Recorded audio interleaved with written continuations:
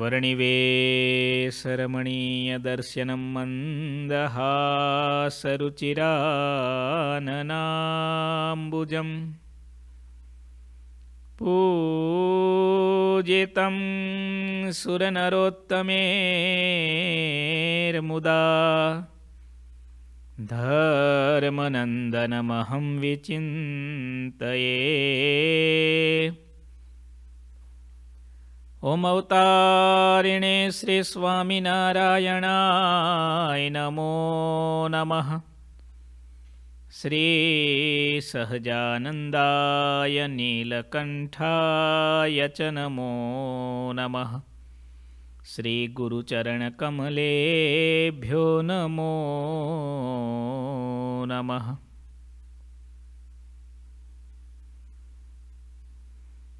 બોલો શ્રી સ્વામિનારાયણ ભગવાનની. શ્રી હરે કૃષ્ણ મહારાજની જય. શ્રી ઘનશ્યામ મહારાજની જય. કથા વાર્તા સાંભળનારા બધા જ ભક્તોને ખૂબ ભાવથી જય શ્રી સ્વામિનારાયણ.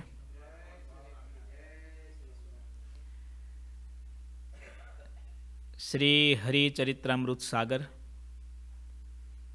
પૂર્ણવમું તરંગ ચોત્રીસમું. સદગુરુ આધારાનંદ સ્વામી આ તરંગમાં ભગવાન શ્રીહરિ સારંગપુરથી કુંડળ પધારે છે. આ પ્રસંગનું વર્ણન કરે છે. અબ શ્રી હરિ કે બાત હે, કહત હે રહી જોવું ઉત્તમ નૃપ તુમ સુનીએ એક ચિત્ત હે હોવું अब श्री हरि की बात है कहत है रही जो उत्तम नृप तुम सुनिए એક ચિત્ત હે હોવું મુક્તાનંદ સ્વામીએ કહ્યું હે ઉત્તમ રાજા તમે એકાગ્રચિત્ત કરીને સાંભળો. હવે પછીની જે અવશેષ એટલે કે બાકી રહેલી વાત છે તે હું તમને કહું છું. ભગવાન સ્વામિનારાયણના પાંચસો પરમહંસ, એની માળા, એના મેર સમાન એટલે મુક્તાનંદ સ્વામી. આપણે કેટલા ભાગ્યશાળી કે આપણે મુક્તાનંદી પરંપરાના છીએ. આપણે મુક્તાનંદ સ્વામીના ખોળામાં બેઠા છીએ. મુક્તાનંદ સ્વામી જેવા વક્તા છે, દાદા ખાચર જેવા શ્રોતા છે, આધારાનંદ સ્વામી જેવા ગ્રંથકાર છે અને આપણે ભાગ્યશાળી આ દિવ્ય ગ્રંથ રોજ આપણે સાંભળીએ છીએ. મારા અનુભવની વાત કરું. હું ઘણીક વાર એક એક તરંગ ચાર ચાર પાંચ પાંચ છ છ સાત સાત વાર વાંચું, દાદા. મને વિચાર આવે કે આ કેવી બધી વાતો છે. એવું લાગે આમાંની એકાદ વાત પણ જો માણસને અડી જાય ને, હમણાં કેવી વાત આવી હતી. અક્ષર બ્રહ્મના ગુણ અખંડ વર્તતા હોય. તો પણ ભગવાનના ભક્તનો દાસ થઈને રહે. અને બીજા જે ભગવાનના ભક્ત છે, એના ગુણનું ખંડન ન કરે. એવો જે છે, તે ભગવાનના મનને અતિશય ગમે છે. ગીતાજીમાં ભગવાન શ્રી કૃષ્ણ બારમા અધ્યાયમાં, અદ્વેષ્ટા સર્વભૂતાના મિત્ર કરુણ એવચ. શ્રીમદ ભાગવતમાં તમે ભાગવત સંતના લક્ષણ જુઓ. સત્સંગી જીવનમાં તમે એકાંતિક સત્પુરુષના લક્ષણ જુઓ. આપણને એમ લાગે, આ બધી વાતનો સાર બે લાઈનમાં મહારાજે કહી દીધો. ખરેખર, જેવી રીતે સાગર છે ને આ જગતની તમામ સમૃદ્ધિ એના પેટમાં છે. સાગરથી મોટો ખજાનો નથી, સાગરથી મોટી સમૃદ્ધિ બીજે ક્યાંય નથી. એવી જ રીતે સ્વામિનારાયણ સંપ્રદાયની સૌથી મોટી સંપત્તિ આ હરિચરિત્રામૃત સાગર ગ્રંથમાં છે. મહારાજના તમામ ચરિત્રો, મહારાજનો તમામ ઉપદેશ, મહારાજની તમામ લીલાઓ અરે શ્રીજી મહારાજના તમામ રદગત અભિપ્રાયો આ ગ્રંથમાં છે. સાંભળજો ભક્તો, પ્રેમથી સાંભળજો, મંતવ્ય લખવાનું ચૂકતા નહીં. ચડવાનું અઘરું હોય છે, પડવાનું અઘરું નથી હોતું. સારી આદત પાડવી એ જ જીવનમાં અઘરી હોય છે. અમારે સંતોને પણ વારંવાર ઉત્સવો સમયાઓ સેવા, પ્રવૃત્તિ એટલું બધું વધે ને ઘણીવાર સંતો અમે એટલા બધા વ્યસ્ત બની જઈએ એમ લાગે, આજે કથા જ નહીં થાય.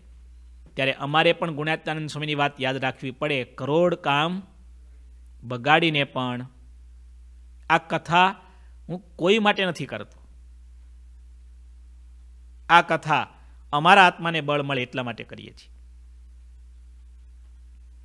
જે કોઈ સાંભળશે આમાં, મહિમા રાખી, પ્રેમ રાખી જે શ્રવણ કરશે, બધાના આત્માને બળ આપશે.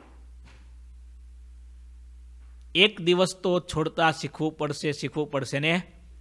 શીખવું પડશે. એટલે તમને બધાને પણ ફરીવાર વિનંતી કરું, કરી કરી, કરીને એટલું જ કરવાનું છે. કુટેવોને કાઢવાની છે અને સારી ટેવને પાડવાની છે. શિવલાલભાઈ શેઠ ગઢપુરમાં હરિકૃષ્ણ મહારાજ પધરાવાનો સમયો કરે. શિવલાલભાઈ કેવા હતા? રઘુવીરજી મહારાજ જેવા આચાર્ય, શિવલાલભાઈ શેઠ જેવા યજમાન અને જીહુબાનો સંકલ્પ, જીહુબા પણ કેવા? અને હરિકૃષ્ણ મહારાજની મૂર્તિ પ્રતિષ્ઠા થાય. તો પણ ગુણાત્યાનંદ સ્વામીને ઠપકો આપવો પડ્યો, શિવલાલ, તારા આત્મા સામે જોઉં છું ને તો અડધો સત્સંગ ઘસાઈ ગયો છે, અડધો. દાદા આવું કેવું પડ્યું? અને આ વાત શિવલાલભાઈ માટે નથી, આપણા બધા માટે છે. સમયા, ઉત્સવો, સેવા, પ્રવૃત્તિ બધું બરાબર છે. પણ જો વિવેક ચૂકીએ ને, તો આપણે એક કામ સારું કરવા જઈએ, બીજા ચાર કામ છૂટી જાય છે. આરતી, ચેષ્ટા, નિયમ, કથા, વાર્તા, મંતવ્ય બધું જ. હમણાં ત્રણ દિવસ પહેલાં એક સત્સંગી ભક્ત સાથે વાત થતી હતી. મને કે, સ્વામી, સમયામાંથી આવ્યા પછી છે ને, કથા વાર્તાની આદત છૂટી ગઈ છે, લો. છૂટતા વાર લાગે? સમયમાં આવ્યા પછી ઉલટાની આદત પાડવાની છે. એક પગથિયું ચડવાનું છે. આપણે શું કર્યું?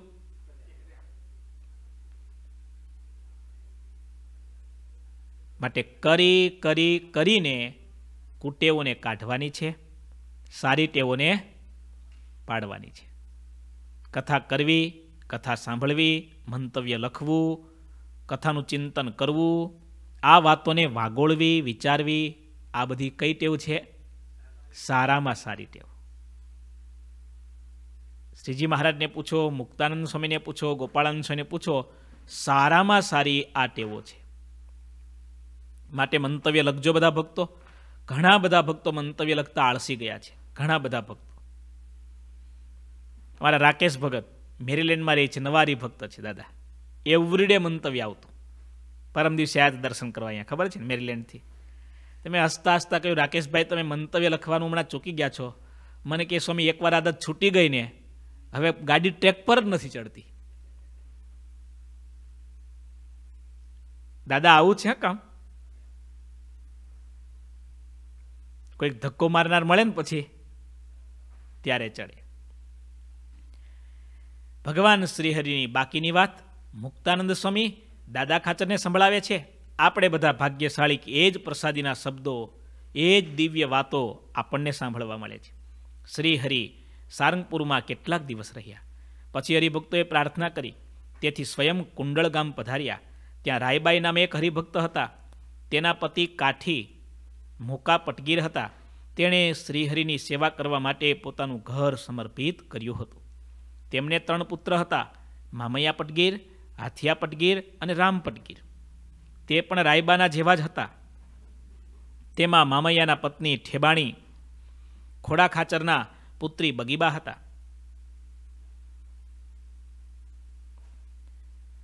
હાથિયાપટગીરના લગ્ન ગઢડાના એભલ ખાચરની દીકરી મોટીબા સાથે થયા હતા. મોટીબા એટલે કોણ? જીવબા જૂના સમયમાં તો નાના હોય ત્યારથી લગ્ન લેવાઈ જતા. લગ્ન નક્કી થઈ ગયા હતા. પછી તો આ મહામુક્તરાજ મોટા થયા, મહારાજનો યોગ થયો અને પછી તો પતિને ત્યાં મોકલવાના હતા. જીવબા તૈયાર થાય નહીં, કથા બહુ લાંબી છે. એભલ બાપુને એમ થાય કે આવી ભર જુવાન જોત જેવી દીકરીઓ ઘરમાં બેઠી રહી, એમાં તો અમારું મોઢું ક્યાંય દેખાડવા જેવું ન રહે. મહારાજ પાસે હવે લાલઘુમ થઈ જાય. મહારાજ જીવુબાને મનાવ્યા. જીવુબાને આજ્ઞા કરી, તમે જાઓ. મહારાજની આજ્ઞાને જીવુબા ના ન પાડી શક્યા. જીવુબાને મોકલ્યા, કુંડળ આવ્યા અને જ્યાં સાંજે હથિયા જીવુબાને મળવા જાય ત્યાં તો જીવુબાની જગ્યાએ શું દેખાણું? મોટી નાગણ દેખાણી દાદા. કાળો નાગ બેઠો હોય ને આવા દર્શન અને રાડ નાખીને હાથી બહાર નીકળી ગયા. રાયબામાએ પૂછ્યું, દીકરા, શું થયું? કેમ રાડ નાખી? માંડીને બધી વાત કરી. હવે જ્યાં નાગણ દેખાય ત્યાં અડવાનું મન થાય. જે વેલડામાં ગઢપુરથી આવ્યા હતા, એ જ વેલડામાં બેસાડ્યા. જોડે ચિઠ્ઠી લખી આપી કે આ તો કોઈ મોટા મુક્ત છે. ભગવાનની ભક્તિ કરવા માટે જ આ ભૂમિ ઉપર જન્મ્યા છે. માટે રાજી ખુશીથી અમે પાછા મોકલીએ છીએ. જીવબા આવ્યા. એભલ ખાચરે પેલી ચિઠ્ઠી જોઈ ત્યારે એનું મન શાંત થયું. આખી જિંદગી મહારાજની ભક્તિ કરી.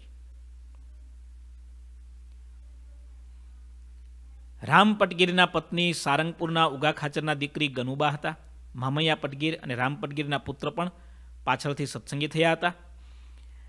કુંડળના અમરા પટગીર સારા હરિભક્ત હતા, તે કુંડળના મુખ્ય રાજા ગણાતા. તેમની પત્ની પણ ઉત્તમ સત્સંગી હતી. તેણે શ્રીહરિની વારંવાર ઘણી સારી સેવા કરી હતી. શ્રીહરિ કુંડળમાં કેટલીક વાર આવ્યા હતા. તેનું ચોક્કસ રીતે કેમ કહી શકાય કે આ વખતે કેટલામી વાર આવ્યા? એટલી બધી વાર ભગવાન શ્રીહરિ કુંડળ પધાર્યા છે. એનું નામ જ છે કુંડળ.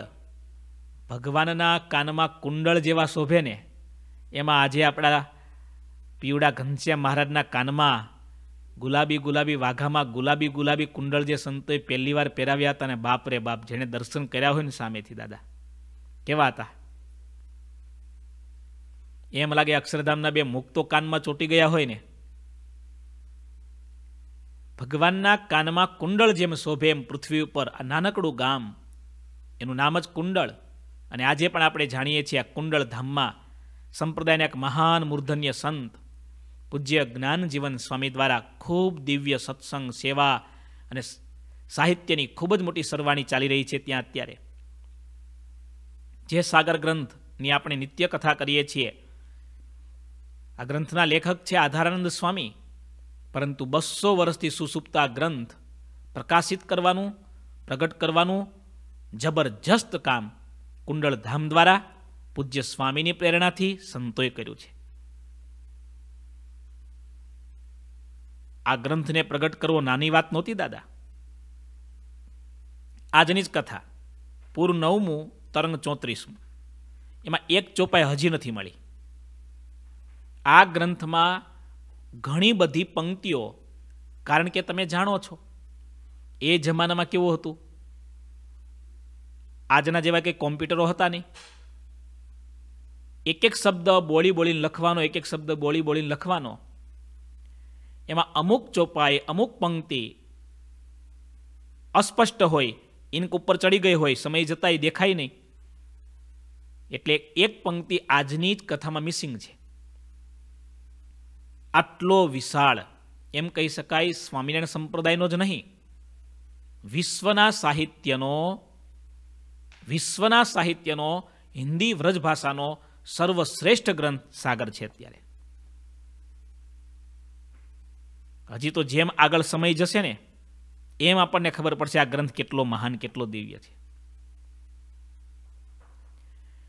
કુંડળધામમાં ભગવાન અનેક વાર પધાર્યા છે. તે ભક્તોએ શ્રીહરિની વિવિધ પ્રકારે સેવા કરી. કાઠી દરબારનો ભાગ્યનો કોઈ પાર નથી. જે કેમ જે જેટલા કાઠી હરિભક્તોના ઘર હતા, તેને શ્રીહરિ પોતાનું ઘર માનતા, જે જે કાઠી દરબારો હરિભક્ત થયા હતા, તે બધા શ્રીહરિની સાથે અંતર રાખતા નહીં.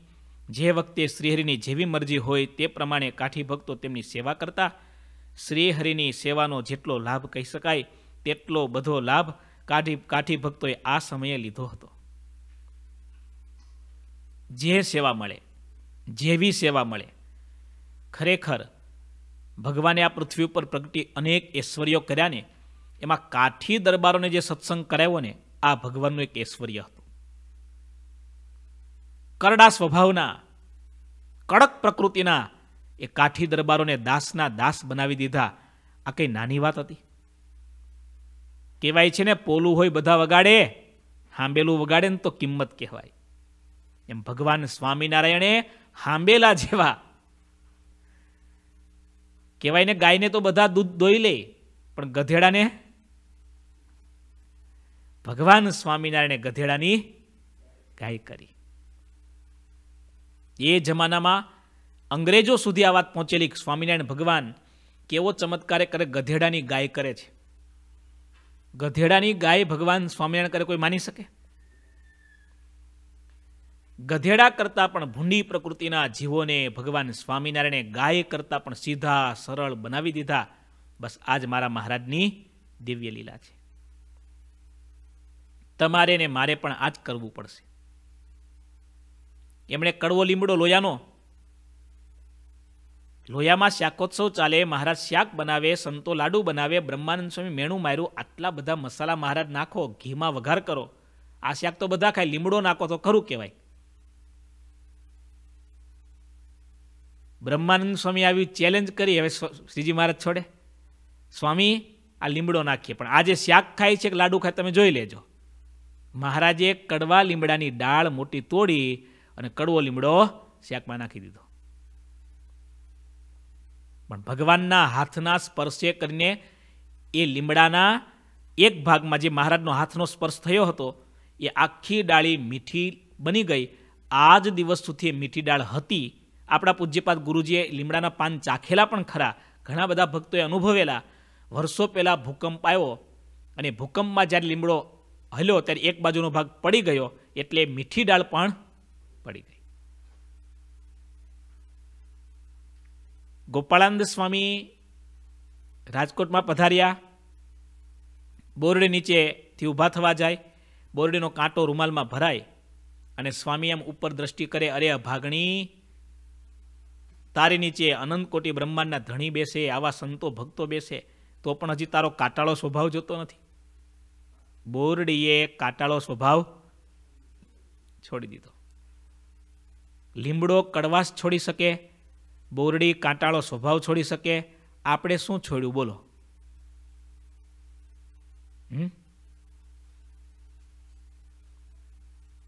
કરવું પડશે ને કંઈક તો.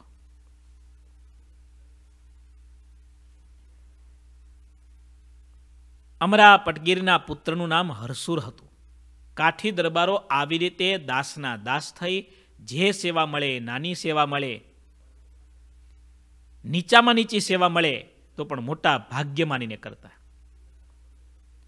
અમરા પટગીરના પુત્રનું નામ હરસુર હતું. તે સિવાય એક પુત્રી પણ હતી, જે એક સારી સાંખ્યોગી હરિભક્ત થઈ હતી. તેણે સંસારની સાથે કંઈ સંબંધ રાખ્યો ન હતો. એકમાત્ર સત્સંગનો સંબંધ રાખ્યો હતો.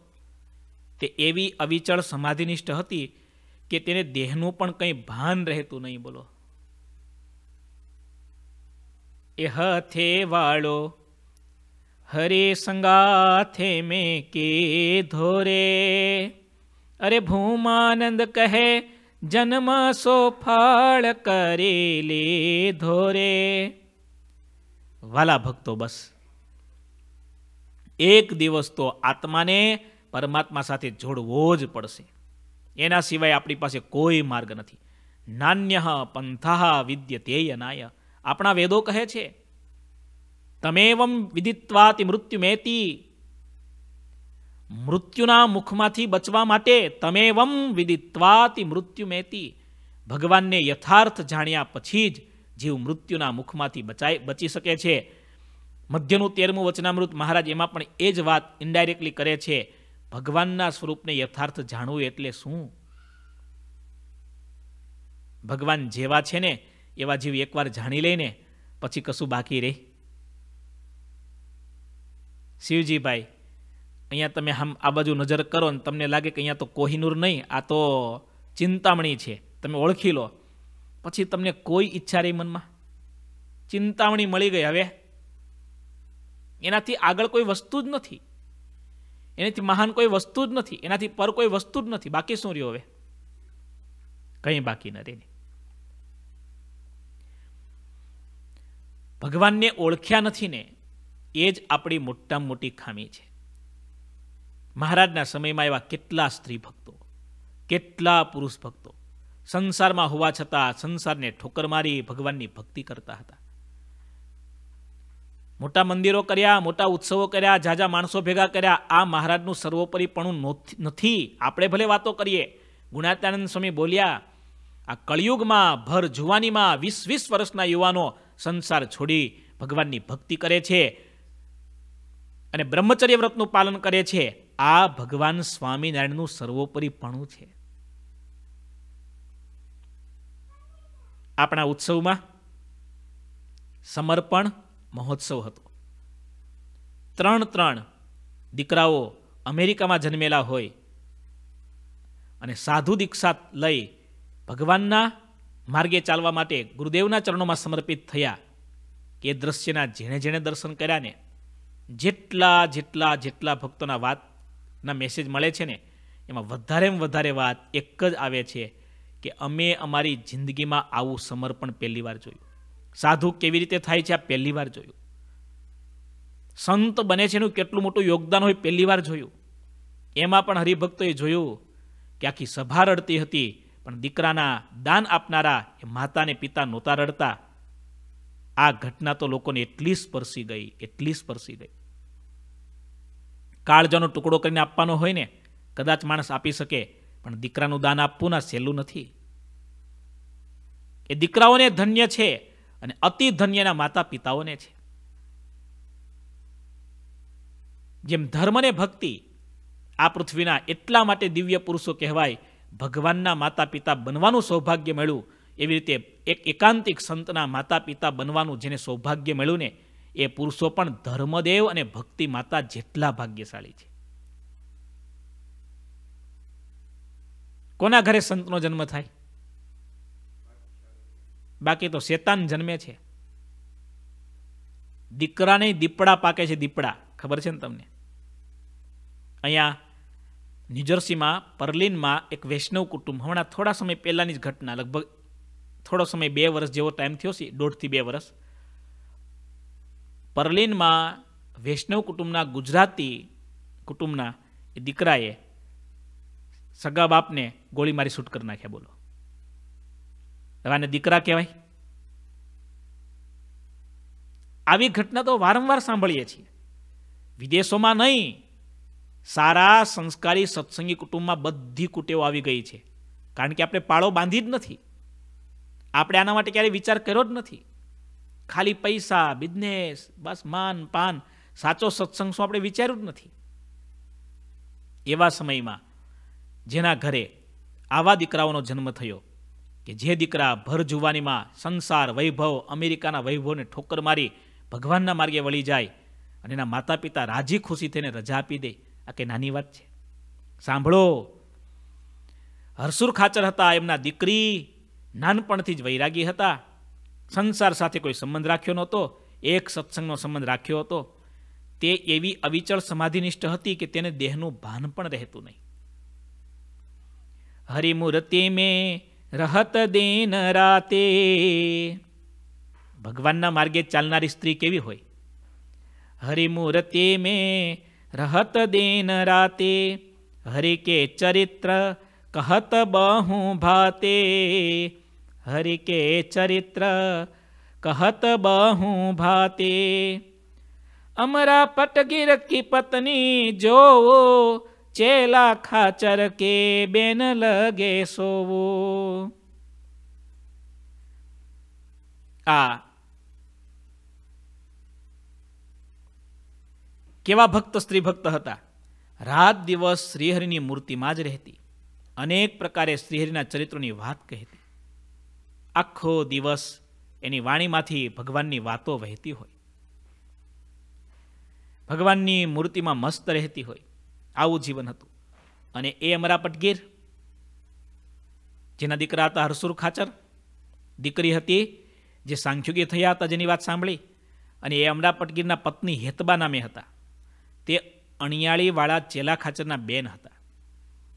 બહેન હેતબાને આ સંબંધને લીધે ચેલા ખાચરને પણ સત્સંગ ઉપર થોડો ભાવ થયો હતો. તેણે શ્રીહરિને પોતાને ઘેર પધરાવી, પધરામણી કરાવી હતી. ચેલા ખાચર શ્રીહરિને બહુવાર મળેલા, દર્શન પણ ઘણા કરેલા.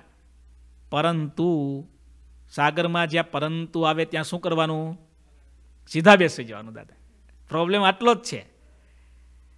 બેનના સંબંધને લીધે ભગવાનને પધરાવેલા, ઘણીવાર દર્શન કરેલા, ઘણીવાર સેવા કરેલી, પણ પ્રોબ્લેમ શું રહી ગયો? પરંતુ, તેના હૃદયમાં મોક્ષનો ખપ ન હતો. જેના કારણે મહારાજને જેવા ઓળખવા જોઈએ તેવા ઓળખી શક્યા નહીં. અમારા બેનના ભગવાન છે, એમ થતું હતું. મારા ભગવાન છે એમ થયું. પેલો સર્પ છે ને, એના શરીરમાં ઝેર હોય.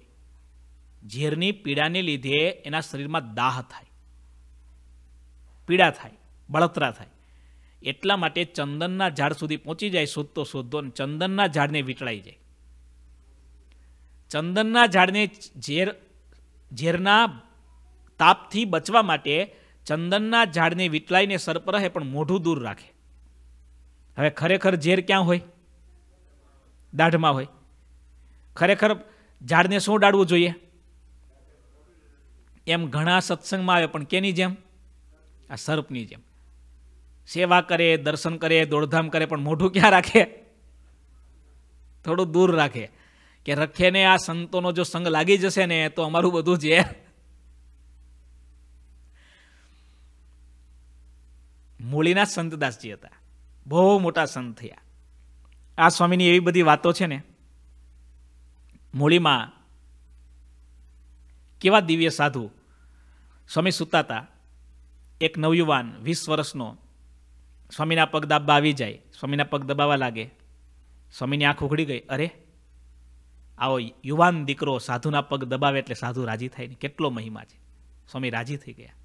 સ્વામી આજે સેવા કરવા દો. થોડી વાર સેવા કરી, સ્વામી બેઠા થઈ ગયા. દીકરા, તારે જે માગવું હોય તે માગી લે. જે માગવું હોય તે માગી લે. ત્યારે દીકરાએ કહ્યું, સ્વામી, બસ ઈચ્છા એટલી જ છે. અખંડ ભગવાનની મૂર્તિ દેખાઈને, મૂર્તિમાં અખંડ વૃત્તિ રહીને આવી કૃપા કરો. સ્વામી માથે હાથ મૂક્યો. સ્વામી કહેજો દીકરા આમ ચપટી વગાડીશ ને એટલે થઈ જશે વૃત્તિ. પણ એક વાત પાક્કી, ભગવાનમાં વૃત્તિ થઈ જશે ને, પછી સંસારમાંથી એકદમ વૃત્તિ નીકળી જશે. સંસારનો વ્યવહાર, સંસારના કામકાજ કોઈ નહીં થઈ શકે. તૈયાર? દીકરા હાથ જોડ્યા. તો નહીં, મા બાપ, તો હજી વાર છે. તો હજી વાર છે મારે. આપણે સત્સંગમાં આવીએ છીએ. પણ દેહથી આવીએ છીએ, આત્માથી નહીં. આત્માને દૂર રાખીએ છીએ, મનને દૂર રાખીએ છીએ. મનમાં તો એમ છે કે હજી પેલું ગીંગોળ છે ને, કમળના વનમાં જાય, ભમરા સાથે નાકમાં છે ને વિષ્ટાની ગોળી ભરીને જાય, એમ આપણી દશા આવી છે. કેવું સ્વામીએ લખ્યું? આ સાગર ગ્રંથમાં સ્વામીએ જે છે, જેવું છે એવું બધું લખી નાખ્યું છે. બધું જ. આ ચેલા ખાચર અનેકવાર દર્શન કર્યા હતા, મળ્યા હતા, સેવા કરી હતી, પણ મોક્ષનો ખપ ન હોવાને કારણે ભગવાન જેવા છેવા ઓળખી શક્યા નહીં. છતાં પણ ભગવાન તો દયાળુ છે, તેના ઉપર કૃપા કરી, એટલે કે અનંત જન્મે કરીને એનું કલ્યાણ થશે.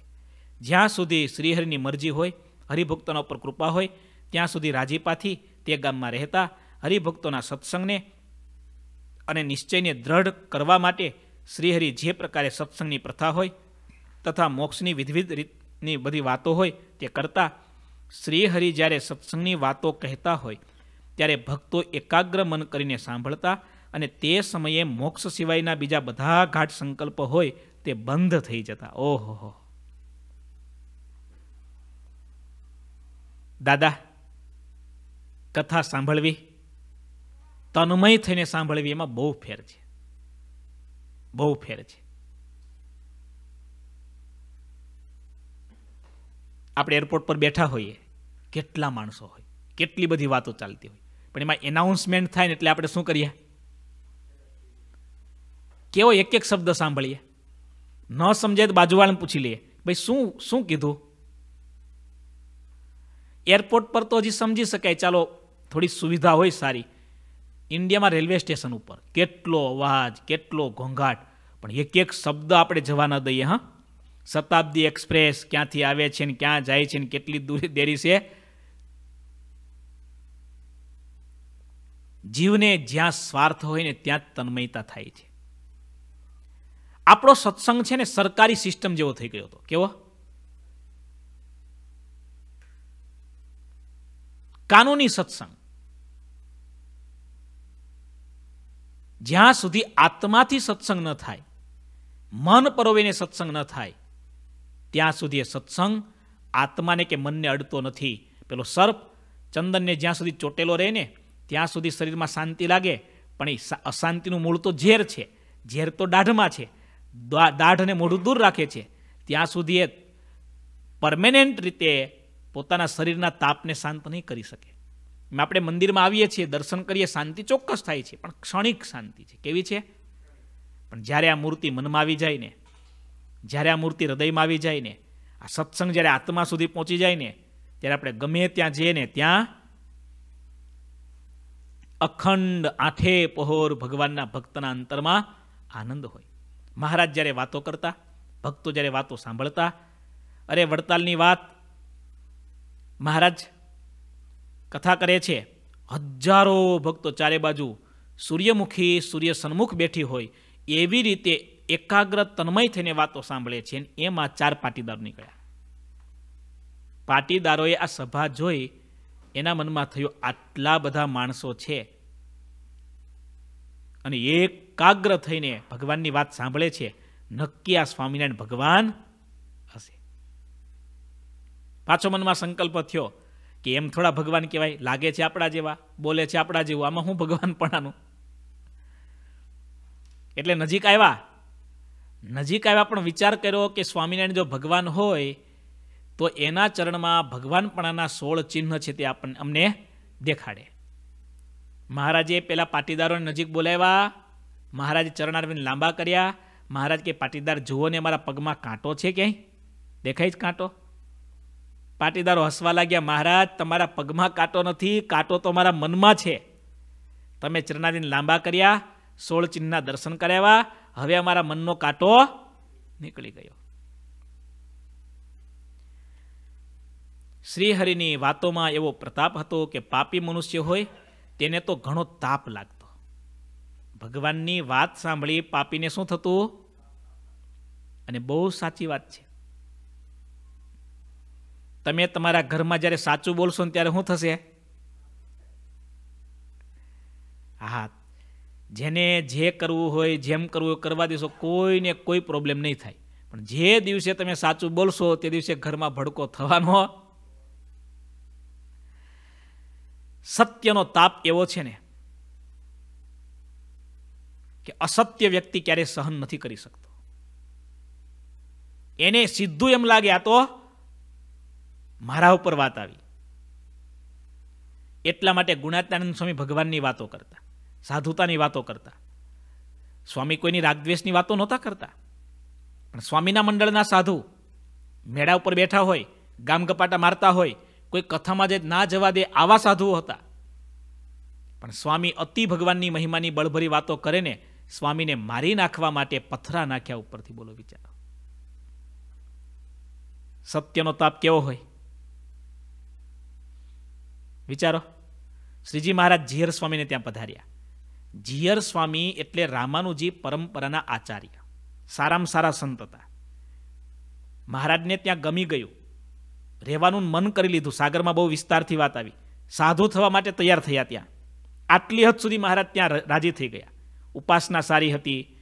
બધું સારું હતું.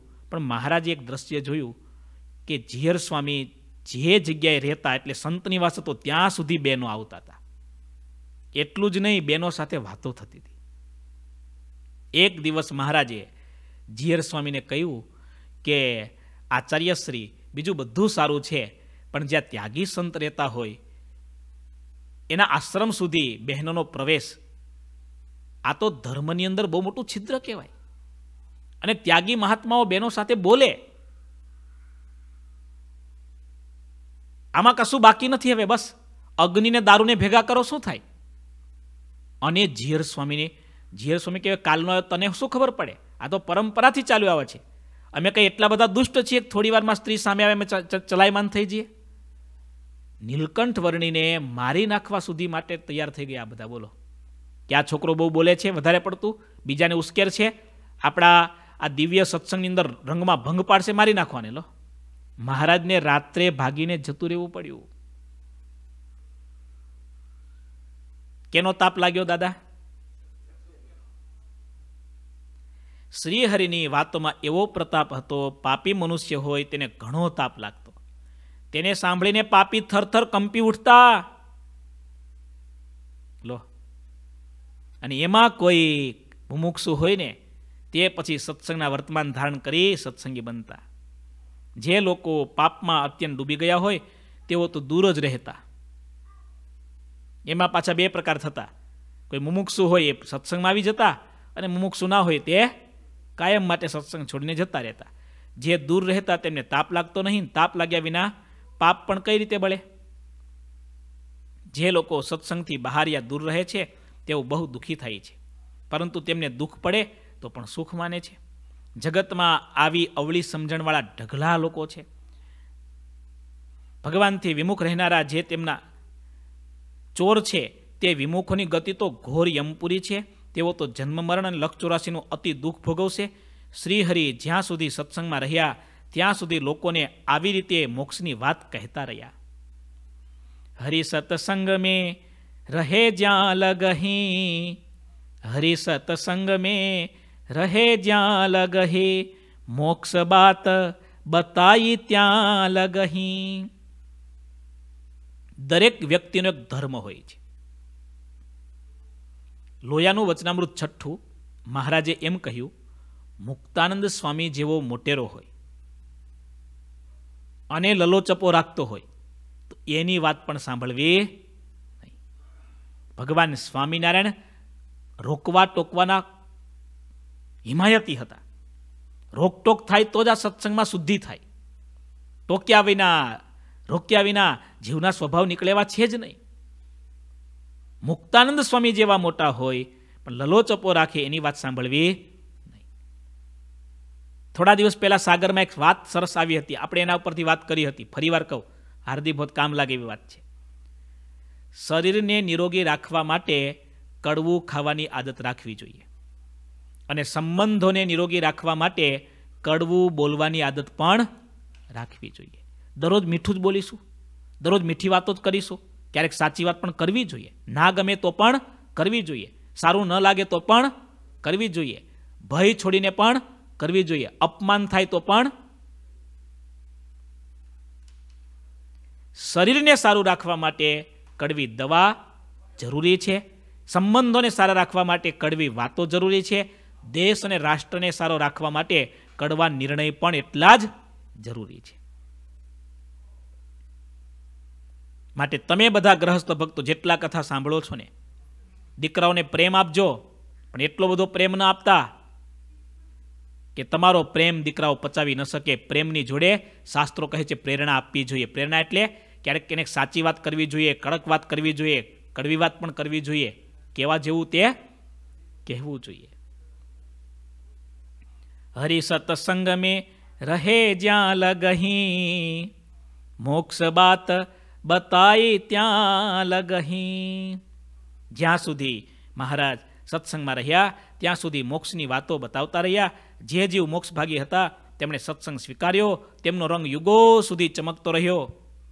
આ વખતે જેણે સત્સંગ સ્વીકાર્યો, તેના, તેનો મનુષ્ય જન્મ સાર્થક થયો. સત્સંગ સ્વીકાર્યા વિના કદાચ આખી પૃથ્વીનું રાજ્ય મળ્યું હોય તો પણ શું? તેનો મનુષ્ય જન્મ તો નિષ્ફળ ગયો.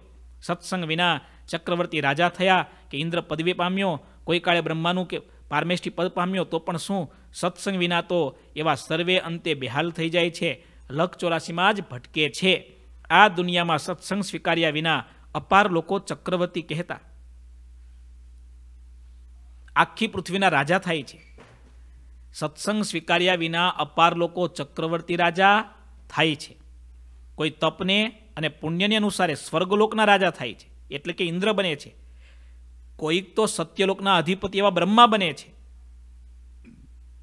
પણ કાળે કરીને કોઈ તેના નામને જાણતું નથી, તે તો અંતે લખ ચોરાસીમાં જન્મ મરણ દ્વારા અનેક દેહ ધારીને વારંવાર ભટક્યા કરે છે. ક્ષીણે પુણ્યે મર્ત્યલોકમ વિસંતી. જ્યાં સુધી પુણ્ય છે ને, ત્યાં સુધી સ્વર્ગમાં રહેવાના જેવું પુણ્ય પૂરું થાય, પાછા નરક ચોરાસીમાં ભટકવાના. બ્રહ્મા હોય જો. ભક્તિ એ હીણો, તોય તે પણ કાળ ચવીણો. નીલકંઠ વર્ણીએ રામાનંદ સ્વામીને પત્રમાં લખ્યું, બ્રહ્મા હોય જો ભક્તિ એ હીણો, તોય તે પણ કાળ ચવીણો. બ્રહ્મા હોય કે ઇન્દ્ર હોય કે ચંદ્ર હોય કે બૃહસ્પતિ હોય પણ ભગવાનની ભક્તિ વિનાનો જીવ એને ધિક્કાર છે ધિક્કાર છે ને ધિક્કાર છે. વેદોનું પુરાનું આવું માનવું છે, કરોડ યુગ વીતી જાય તો પણ સત્સંગ કર્યા વિના કોઈને સુખનો માર્ગ મળતો નથી. ત્રણ વાર વાંચું છું. કરોડો યુગ વીતી જાય તો પણ સત્સંગ કર્યા વિના કોઈને સુખનો રાહ મળતો નથી. કોટી જુગહી દિન, વેદ પુરાણ કી સમજ્ય, સત્સંગ કરે બિન સુખ કો રાહ ન લહત લેકો. સત્સંગ કરે બિન સુખ કો રાહ ન લહત કો રક્ષાબંધનની કથામાં મેં વાત કરી હતી ને, માઇકલ જેક્સન. ઈરાનનો શાહ, ઇથોપિયાનો હેલે સેલાસી, બરાબર? અરે મોટા ધર્માચાર્યો. ભગવાન જેવું ઐશ્વર્ય આ દુનિયામાં દેખાડતા હતા હતા નહીં? ભગવાન તો હોય તો શું જોવાનું? હરદેવસિંહજીની કેનેડાની વાત કરી હતી ને, કોઈ સલામત નથી. જેણે ભગવાનની ભક્તિ કરી, એ પછી ઝૂંપડામાં રહે છે સુદામાની જેમ કે નરસિંહ મહેતાની જેમ. એના સિવાય ભક્તિહીન કોઈ પણ વ્યક્તિ હોય, એ બધા કાળના મુખમાં જવાના, જવાનાને જવાના. બ્રહ્મા હોય જો ભક્તિએ હીણો, તોય તે પણ છે કાળ જવીણો કાળના ક્રમથી આ બધાનો વિનાશ થશે. ભક્તિવાન છે, એનો વિનાશ કાળ નથી કરી શકતો. એ તો મુક્તિના અધિકારી બનવાના ભગવાનના ધામને પામવાના અને ભગવાનની મૂર્તિનું મહાસુખ મેળવવાના.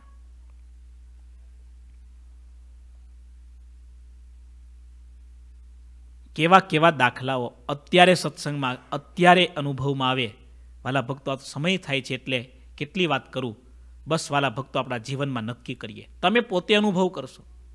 મારી ક્યાં વાત તમે અનુભવ કરશો. ભક્તિના માર્ગે જે ચાલ્યા છે ને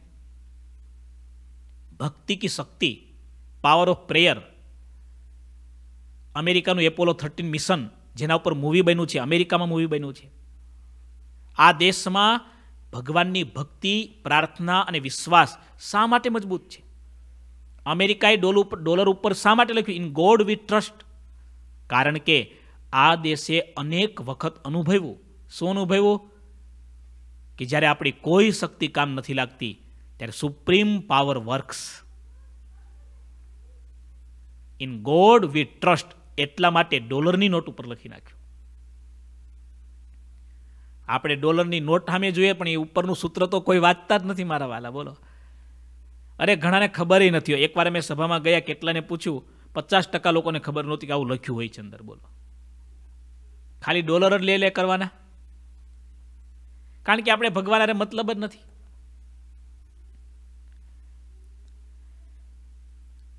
કેવી અદ્ભુત વાતો આવે છે. જો દાદા, જે અનંત બ્રહ્માંડોના સુખને અપાર દુઃખ સમાન દેખે છે. તે જ ખરા સત્પુરુષ છે. અને તેવા સત્પુરુષના મુખથી સત્સંગની વાત સાંભળવી જોઈએ. બહુ લાલચ આપે, બહુ પ્રલોભન બતાવે. બરાબર? હરી ચટની ખા લો, તમારા કામ હો જાયગા. નોકિયા કા ફોન બદલ દાલો સેમસંગ લે લો, તમારા કામ હો જાયગા. આવા પ્રલોભનો આપી ધોળા દિવસે ધૂતનારા એ ધૂતારાઓથી આ દુનિયા ભરેલી છે. કળિયુગમાં તો આવું પાખંડ બહુ વધવાનું. મોક્ષની વાતો કરનારા, કલ્યાણની વાતો કરનારા ગણ્યા ગાંઠ્યા રહેશે. ત્યારે વાલા ભક્તો આપણે ભાગ્યશાળી આ દિવ્ય વાતો, આવો દિવ્ય સત્સંગ આપણને મળ્યો છે. પૂજ્યપાદ ગુરુજીનું જીવન આપણે જોઈએ છીએ. એમના હૃદયમાં એક જ તાન છે. મારા યુગમાં આવેલા કોઈ પણ સંત કે ભક્તને ભગવાનમાં જોડવું આપણને દેખાય આવે. આ સત્સંગમાં એટલી દિવ્યતા છે. આ સત્સંગમાં આપણને ચારે બાજુ પીવડા મહારાજના પ્રતાપના દર્શન એટલે થાય છે, પૂજ્યપાદ ગુરુજી આપણને ભગવાનમાં જોડ્યા છે. જોયું તમે? ફરી વાર જુઓ. અનંત બ્રહ્માંડોના સુખને અપાર દુઃખ સમાન દેખે છે. તે ખરા સત્પુરુષ છે. અને એવા સત્પુરુષના મુખથી સત્સંગની વાત સાંભળવી જોઈએ. જ્યાં સુધી મનમાં સંસાર બાબતનો રાગ ભર્યો હોય, ત્યાં સુધી સત્સંગ કરવામાં ખામી છે. સંસાર બાબતના જેટલા ઘાટ સંકલ્પો થાય, તેટલું સંસારનું બીજ અંતરમાં રહ્યું છે એમ સમજવું. તે સંસારના બીજને બાળવા રોજ સત્સંગ કરવો. ભગવાન સિવાયના જેટલા ઘાટ થાય છે, એટલા હજી વાસનાના બિયારણ અંદર પડ્યા છે. અને એ વાસનાના બિયારણને ટાળવા માટે રોજ સત્સંગ કરવો જરૂરી છે. જો સત્સંગ નહીં કરીએ, તો પેલામાંથી એટલા બધા છોડ ને પછી એમાંથી ફળ ને પાછા એમાંથી દાણાથી એનો વ્યાપ એટલો વધશે વધશે વધશે મરી જશું. સંત સમાગમ કીજે, નિસદીન સંત સમાગમ કીજે. અખંડ જરૂર છે. અઠવાડિયામાં એક દિવસ નહીં. દિવસમાં એક કલાક નહીં, અખંડ નિસદિન દિવસે ને રાત્રે ભગવાન અને સંત એની વાતો, એનું અનુસંધાન અખંડ જરૂરી છે. હું ઘણી વાર કથામાં વાત કરું છું ને, ઘણા લોકો દવાની જેમ સત્સંગ કરે, ઘણા લોકો ખોરાકની જેમ સત્સંગ કરે, ઘણા લોકો પાણીની જેમ સત્સંગ રાખે અને ઘણા લોકો ઓક્સિજનની જેમ સત્સંગ રાખે. ખરેખર સત્સંગ કેવો હોવો જોઈએ? ઓક્સિજન જેવો.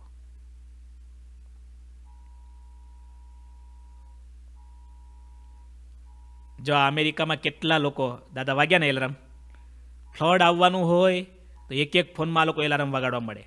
કે ભાઈ, આવવાનું છે, તમારે એમ બહાર ના નીકળતા અને નીકળો તો તમારી જવાબદારી અમે છૂટા. આ ફોનવાળા ડાયા થઈ ગયા દાદા મેસેજ આપવા માંડ્યા, જોયું? શાસ્ત્રો શું કરે છે? એ જ કરે છે ને? કે ભાઈ, તમે ભગવાનની ભક્તિ કરી લેજો, આજ્ઞા લોપતા નહીં લોપશો તો તમે જાણો તમારું પછી અમને કહેવા ના આવતા. શું લખ્યું દાદા મેસેજ વાંચો જે તમે.